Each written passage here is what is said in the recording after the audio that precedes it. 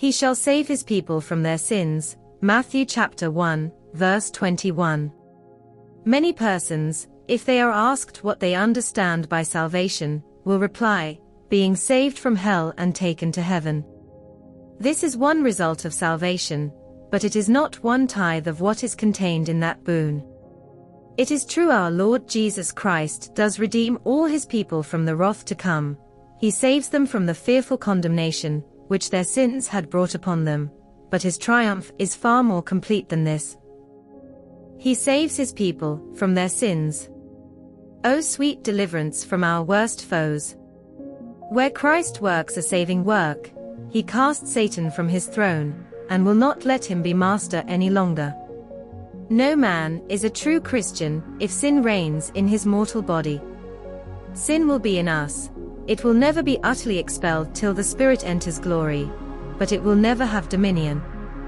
There will be a striving for dominion, a lusting against the new law and the new spirit which God has implanted, but sin will never get the upper hand so as to be absolute monarch of our nature.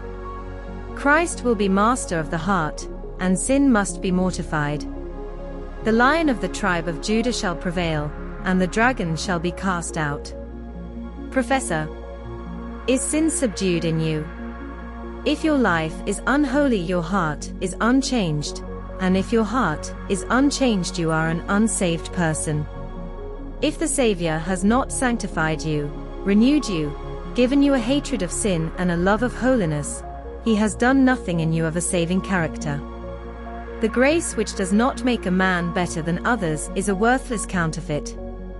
Christ saves his people, not in their sins, but from them. Without holiness no man shall see the Lord. Let every one that nameth the name of Christ depart from iniquity. If not saved from sin, how shall we hope to be counted among his people? Lord, Save me now from all evil, and enable me to honor my Savior. A reading from Morning and Evening by C. H. Spurgeon. Evening of February 8th.